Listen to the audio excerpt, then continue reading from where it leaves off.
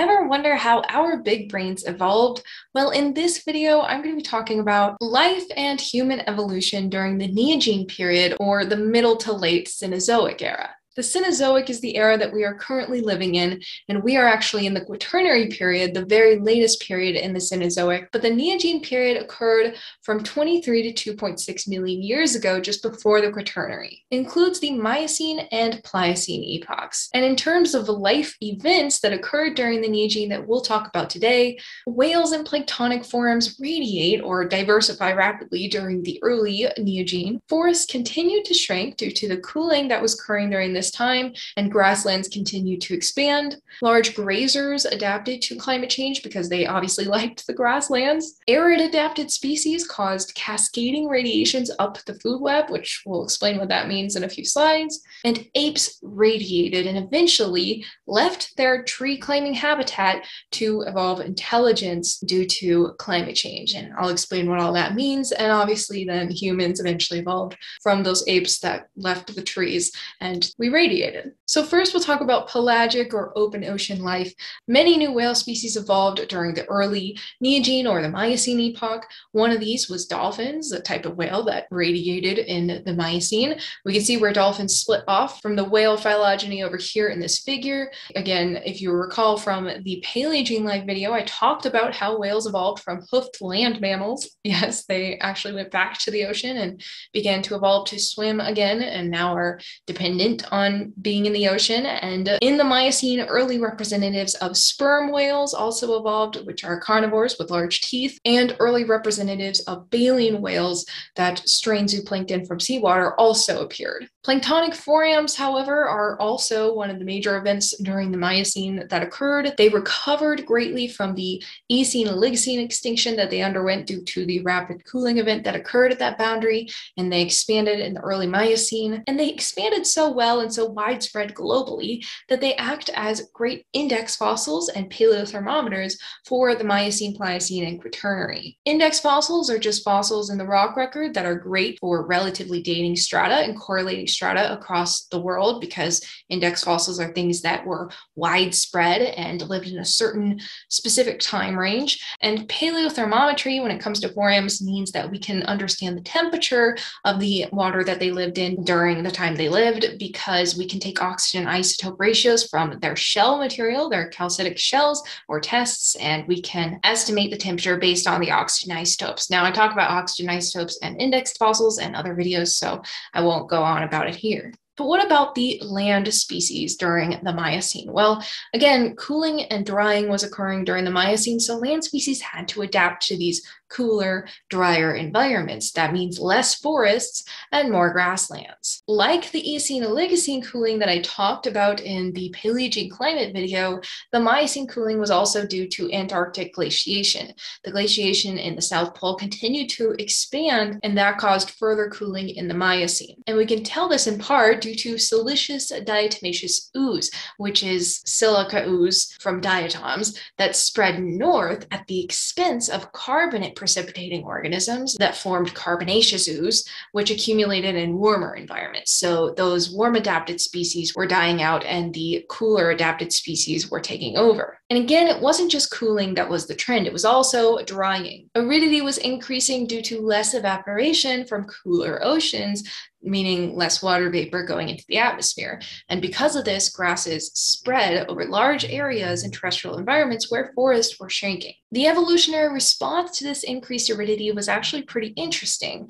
Grasses and herbs radiated as forests shrank, and due to this radiation of grasses and herbs, rats and mice, which ate the seeds from the grasses and herbs, radiated, and songbirds also then radiated because of the radiation of the herbs, and then snakes ate the rodents, the rats and mice, and they also ate the eggs of the songbirds. So then they radiated as well. So this cascading radiation of species up the food web was because of initially the increased cooling and aridity. But moving up in scale now to the larger animals, large mammals also diversified on land. Herbivores, for example, were bigger and taller with longer limbs than in the Paleogene because they had to run farther distances over the more open terrain than the densely forested terrain of the early Paleogene. Their eyesight also had to greatly improve due to increased pressure from predation. And potentially most significant for reasons I'll explain on the next slide, their teeth were longer and flatter and taller for grinding grasses because grasses contain what's called phytoliths, which translate to plant rocks because that's what they are.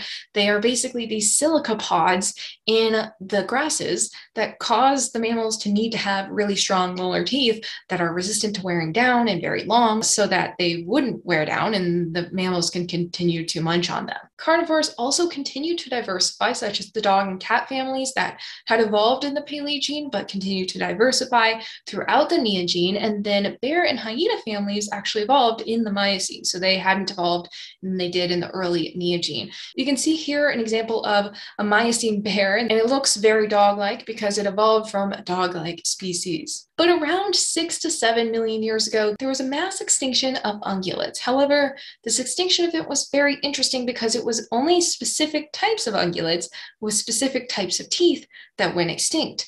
Now we know the reason is because a switch in plant type. Due to climate change, C3 plants transitioned to mainly C4 plants in the grassland areas. So the grasses were becoming C4 grasses mainly. And we can see this in the rock record because of carbon isotopes. These two different types of plants, C3 and C4 plants, take up carbon isotopes differently. And so they make distinct carbon isotope signatures in the rock record that we can track. And at this point in Earth's history, around six to seven million years ago, there's a distinct change from C3 to C4 grasses. And this meant that since C4 plants have sharper phytoliths, the ungulates had to have extremely tall and resistant molar teeth to survive. And those ungulates did survive, but the ungulates without these extremely tall and resistant teeth did go extinct. Now getting to the majority of this video, which is the radiation of apes and eventually human evolution.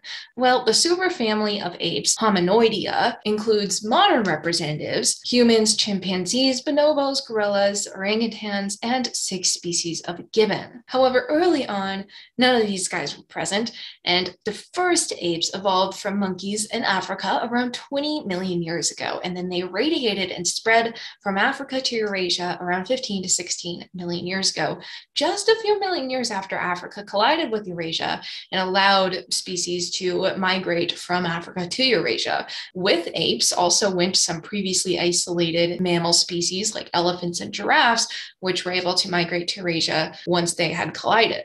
Apes radiated in both Africa and Eurasia. However, by the end of the Miocene, only one genus is known to have survived, called Gigantopithecus or Gigantopithecus, Pithecus, I don't know. But you see the name there, that's the genus that survived.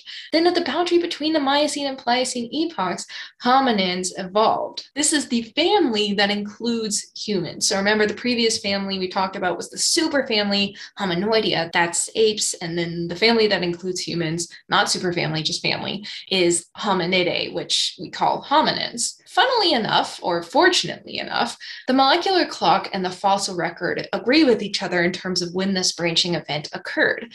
Molecular clock estimates indicate that the branching of hominins from early apes occurred around 5 to 8 million years ago, and the fossil record indicates that it occurred around 6 to 7 million years ago, which is in agreement. The Hominidae subfamily Australopithecines was the first major step in the trail that led to human evolution. This subfamily included diverse species, but they all had both ape and human traits. Australopithecus, which is just one genus of the Australopithecines subfamily, originated a little over 4 million years ago and later gave rise to our Homo genus. It's uncertain whether Australopithecus made and used tools, or at least based on the references I've seen. If you know a more recent reference that has confirmed or denied this, please comment down below. But anyway, they had human similarities of a broader pelvis, which was very important for bipedalism. And as we'll see later, bigger brains. And then they had more ape similarities, non human ape similarities, in which they kept a lot of their climbing adaptations, like longer arms, and they had a more ape like skull, but it was slightly larger than previous apes and was moving toward a more human sized skull. Homo, the genus of Homo that evolved from Australopithecus, appeared around 2.4 million years ago, and we are the only modern species of Homo. But that wasn't always the case. Around 2 million years ago, at least two Homo species existed. We can see in this figure just a couple examples of other Homo species, but we'll talk about more later. Australopithecus had a cranial capacity, which is indicative of potential brain size, of around 450 cubic centimeters, while early Homo species had around 760 to potentially over 800 cubic centimeters of cranial capacity. This, as well as wider pelvic bones, indicated that these species were transitioning to more human like traits. And based on the size of their pelvic bones, early Homo spent most of its time on the ground. One of the early Homo species, Homo habilis, which means handyman, made stone tools called Oldowan tools. Interestingly enough, the oldest Homo bones and the oldest stone tools appeared at the same time around 2.4 million years ago. And even though Australopithecines supplemented their mostly vegetarian diet with meat from small animals from time to time, early Homo ate much more meat and used their tools to sever meat from the bones. We can tell by scratch marks and tool marks on the bones that we found in association with Oldowan tools. But in terms of the references I've seen, it remains uncertain whether they actively hunted these animals or scavenged them from animals that had been killed by other animals. But before we move from Homo, Homo habilis, sorry, I think I said Homo habilis earlier. It's supposed to be Homo habilis, I believe. Anyway, before we move from handyman onto our, you know, chain of Homo species and then humans eventually, let's talk a little bit about that transition from Australopithecines to early Homo because it's a very interesting one. Why would they leave their tree climbing behavior behind in order to walk on land when that puts them at such greater risk? Well, it all comes back to climate change. Basically, Australopithecines kept their tree climbing abilities to find food in the trees and seek safety in the trees from predators. And much like modern chimps, their newborns clutched onto them as their mothers were busy climbing. And so their arms were occupied. So their newborns had to clutch onto them. And this lifestyle prevented bigger brains from evolving. But how is climbing related to bigger brains? Well, this is what we call the helpless baby problem. Well, I don't know if we call it that, but I'm calling it that. Basically, if you're a human mom and you have a newborn, I guarantee it's not clutching onto you so you can use your arms for other things. Yeah, no, it does not. I don't have kids personally, but I've held babies. And if you haven't ever held a newborn, it's like a blob. They can't even hold their own head up. So it's not going to do any clutching, that's for sure. This is about when the brain is developed and how much it's developed by the time the baby is birthed. In monkeys and apes, the brain is mostly developed before and very shortly after birth. And so that baby can very quickly learn to clutch onto its mom while she's climbing. However, in Homo, and that includes us, the brain continues to develop for a full year after birth. This evolutionary transition to larger brains and increased intelligence required what's called delayed maturation, this continued development of the brain after birth. The cons of this delayed maturation of the brain after birth is that we have to take care of our young for longer than other primates do. And so we can't go around doing things with our arms like climbing while our baby is developing. We have to wait for it to be able to clutch onto us for a full year at least. But then the pros of this delayed maturation is brain expansion and intelligence that isn't matched by any other ape that allows Homo and has allowed Homo for many years to cope with environmental changes. So, what did climate change have to do with this increase in brain size and delayed maturation? Well, cooling and drying, which was occurring around 2.6 million years ago, forced Australopithecines to abandon their tree climbing lifestyle forests were shrinking and grasslands were expanding to the point where trees just weren't available for long expanses of time. And when a population of Australopithecines had finished clearing out all the food in one tree area, they had to travel long distances over open terrain to get to the next tree area to find more food. And when they were doing so, they were obviously subject to predation. Many populations died out as forests shrank, but at least one survived and adapted and eventually evolved into Homo. When they began walking more on two legs, their pelvic bones became larger and their limbs became longer so that they could run longer and walk longer on ground rather than climbing. And as their pelvic bones became larger, bigger brains became possible, and the evolutionary mutation of bigger brains became very advantageous as they needed to start outsmarting their predators. For example, tool making and hunting techniques that came with the increased intelligence of early Homo outweighed the cons of helpless babies and allowed them to survive and then thrive. Homo erectus evolved from early Homo in Africa around 2 million years ago, and these were even more similar to modern humans than Homo habilis. Homo erectus was also the first hominid to migrate out of Africa to China and Java by 1.9 million years ago, and they produced more advanced tools as a part of their distinctive stone tool culture called Acheulean. I hope I'm saying that right. I don't want to offend someone if I'm not saying that right. Interestingly, we used to think that Homo erectus died out around 300,000 years ago. However, then we found evidence that it was actually less than 100,000 years ago that they actually died out. And they seem to have survived isolated on Indonesian islands long after modern humans occupied Africa and Eurasia. Homo erectus survived in Indonesia until at least 100,000 years ago, and recent skeletal findings of very small Homo species in cave deposits in the small island of Flores show full grown adults of around one meter or three feet tall. This population of small Homo people on Flores represent evolutionary dwarfing of a small population of Homo erectus that had lived there and then evolutionarily became dwarfed. And this dwarf population lived all the way until 18,000 years ago. On geologic timescales, guys, that's very recent. And even more recent was a population of dwarfed elephants that also lived on the island of Flores until 12,000 years ago. How cool would it be to see a dwarfed elephant? I mean, imagine a baby dwarfed elephant. In any case, although Homo erectus was more similar to modern humans than previous forms, they still had smaller pelvic bones. Like I mentioned, pelvic bone size limited brain size. However, a later species, Homo heidelbergensis, did evolve larger pelvises and larger brains, but still 20 ish percent smaller brains than modern humans. However, brain size isn't always directly correlated to intelligence. It also has to do with the brain shape and organization of the brain. And that brings us to Neanderthals. Neanderthals lived from around 530 to 32,000 years ago and had larger brains than Homo sapiens, but they were shaped differently. And Homo sapiens, or humans, have larger frontal and lateral lobes and therefore greater intelligence, even though the Neanderthals Neanderthals had bigger brains, they weren't more intelligent, but they were getting quite close. The lineages of Homo neanderthalensis and Homo sapiens branched from a common ancestor around 500,000 years ago, perhaps Homo heidelbergensis or another Homo species around that time.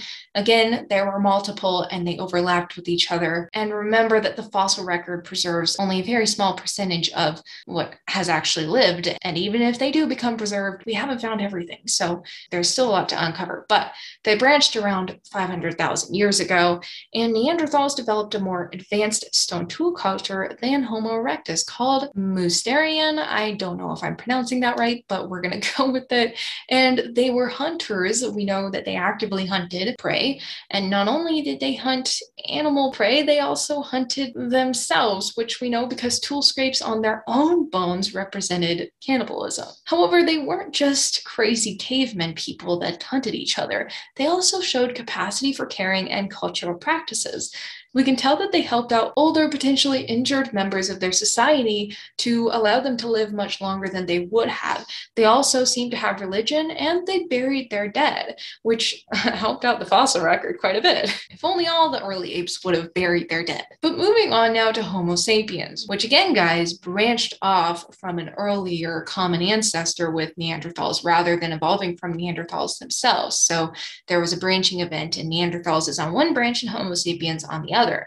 We used to think that Homo sapiens, humans, appeared around 150,000 years ago, but recent discoveries from fossil record and genetics indicate that they arose in Africa more than 300,000 years ago. And we not only made more advanced tools, but also had a distinct appreciation for beauty, which hadn't been recognized from previous Homo species. For example, we fashioned shell necklaces and used decorative pigments by 120,000 years ago. And we made it to Europe by 45,000 12,000 years ago, and Neanderthals then died out 12,000 years later. And whether that's a coincidence or competition, I won't get into, but we do know that Neanderthals made their mark on us before they went extinct. Genetic evidence shows that modern Europeans and Asians share more Neanderthal genes than modern Africans. This is because humans and Neanderthals interbred in the Middle East, and humans then carried their excess Neanderthal genes as they spread throughout Europe and Asia we Homo sapiens invented many new advanced technologies, initially with what's called Cro-Magnon culture, with magnificent cave paintings as shown to the right here, sculptures, and even musical instruments. But we soon developed even more sophisticated technology in the late Neolithic culture. And all of these cultural advances were unlike the previous Homo species, which stayed pretty stagnant once they had a tool culture. They just kept going with it. They never really grew out of that stage and, evolved other more advanced technologies. Whereas we continue to rapidly advance our technologies and our cultures. And I love this figure that shows biological evolution versus cultural evolution. And that is biologically, you know, lineages branch out and diversify, but they don't cross over as much, especially in like human type species and Homo species. We're not doing a bunch of lateral gene transfer.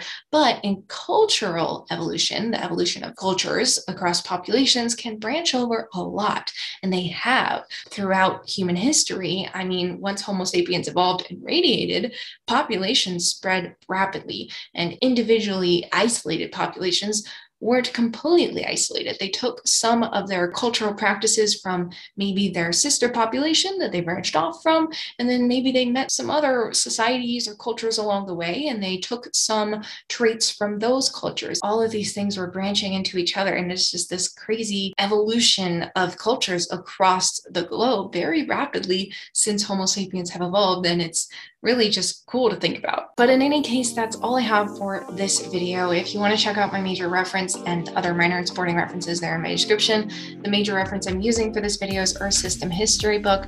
And if you want to check out related videos about other things that were going on in the Neogene, like tectonic and geologic events or climatic events, you can check out those videos, which if they're out by now, I'll put them on the screen here. But if you want to see other things that have happened throughout Earth's history, I have basically all of Earth's history in my historical geology playlist, and you can click on that playlist whenever it pops up on the screen.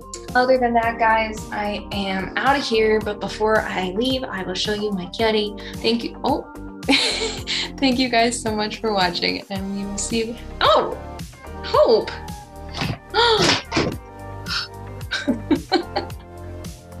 you little biscuit.